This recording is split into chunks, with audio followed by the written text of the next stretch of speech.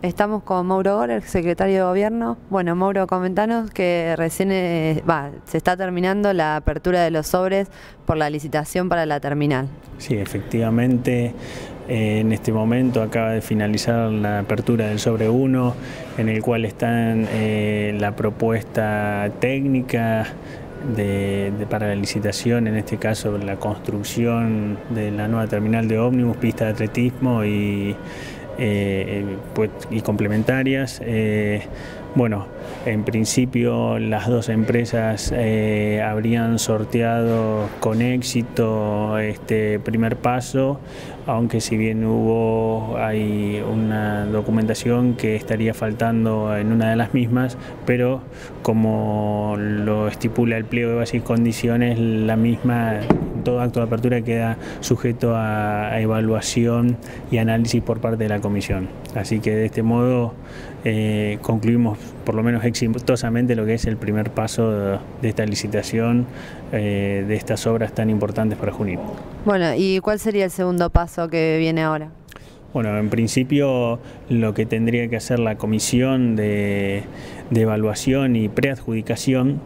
es justamente analizar que se hayan cumplido con todos los requisitos legales y técnicos eh, que exige el pliego de base y condiciones y la legislación vigente eh, y una vez que eh, se, en la comisión bueno, del visto bueno se notifica a ambas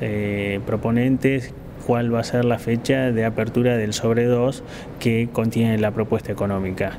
Ahí ya bueno, sería la, parte final de, esta licitación, pero bueno, eh, sin lugar a dudas eh, habrá que evaluar eh, minuciosamente cada uno de los puntos propuestos en esta etapa que sin lugar a dudas es muy importante. Bien, se está culminando con algo que viene ya desde hace tiempo, eh, proponiéndose desde el gobierno y bueno, cuáles son las expectativas de por ahí los inicios de obra o a ver cuándo se puede empezar esto.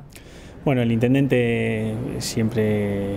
eh, sostuvo y él, lo que quiere es que se inicien cuanto antes estas obras porque creemos que es muy importante para Junín, sin lugar a dudas la posibilidad de tener una nueva terminal, de poder descomprimir del área centro una zona que, hoy, eh, la, cantidad de, ómnibus que ingresan, hace que,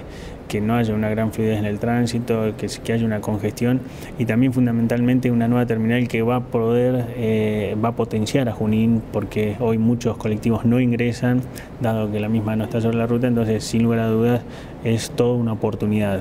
Eh, así que bueno, nosotros esperemos que, que concluya exitosamente este proceso, aún falta, pero bueno, somos expectantes que en el transcurso de los no más de próximos 60 días podamos ya tener un ganador y por lo menos el comienzo o estar en, en vísperas del comienzo de las obras. Muchas gracias. No, por favor, gracias.